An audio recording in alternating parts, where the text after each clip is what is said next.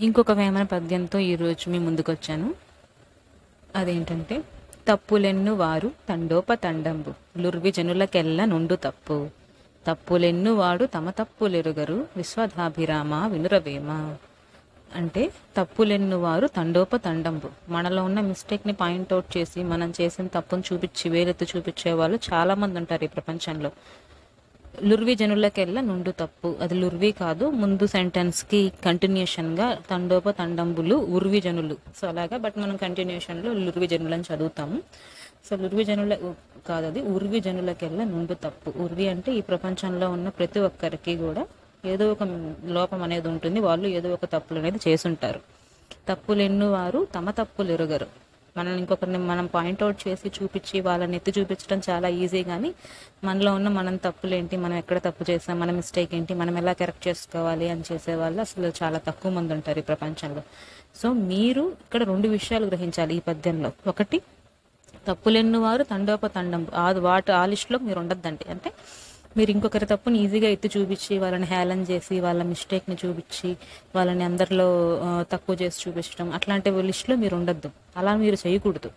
ఇంకొకటి తప్పులెన్ను వారు తమ తప్పులు ఎరుగరు.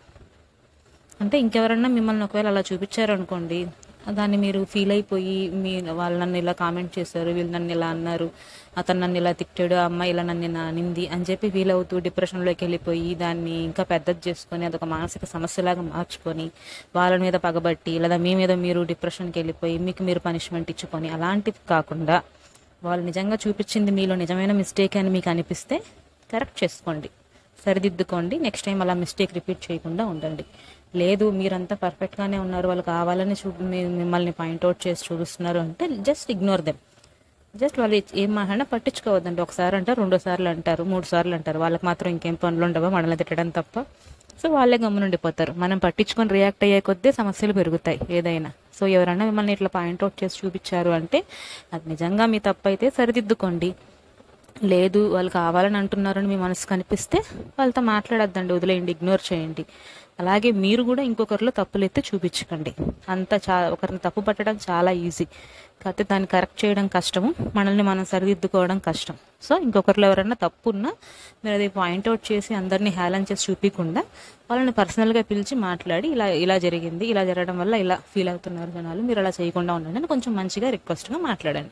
అప్పుడు ఏ సమస్యలు రావు. రెండు వైపుల సమస్యలు రాకుండా ఉంటాయి.